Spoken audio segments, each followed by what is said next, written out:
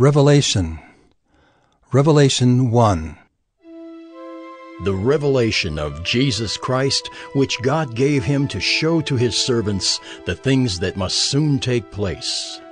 He made it known by sending his angel to his servant John, who bore witness to the Word of God and to the testimony of Jesus Christ, even to all that he saw. Blessed is the one who reads aloud the words of this prophecy, and blessed are those who hear and who keep what is written in it, for the time is near. John to the seven churches that are in Asia. Grace to you and peace from him who is, and who was, and who is to come, and from the seven spirits who are before his throne, and from Jesus Christ the faithful witness, the firstborn of the dead, and the ruler of kings on earth. To him who loves us and has freed us from our sins by his blood, and made us a kingdom, priests to his God and Father, to him be glory and dominion for ever and ever. Amen. Behold, he is coming with the clouds, and every eye will see him, even those who pierced him, and all tribes of the earth will wail on account of him. Even so, Amen.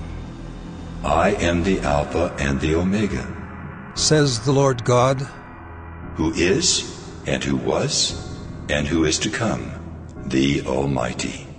I, John, your brother and partner in the tribulation and the kingdom and the patient endurance that are in Jesus, was on the island called Patmos on account of the word of God and the testimony of Jesus.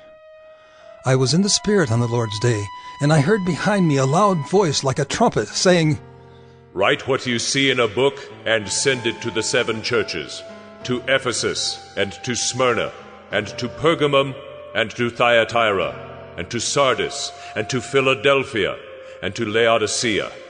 Then I turned to see the voice that was speaking to me, and on turning I saw seven golden lampstands.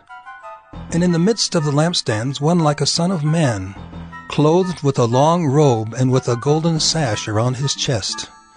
The hairs of his head were white, like white wool, like snow. His eyes were like a flame of fire his feet were like burnished bronze refined in a furnace, and his voice was like the roar of many waters. In his right hand he held seven stars.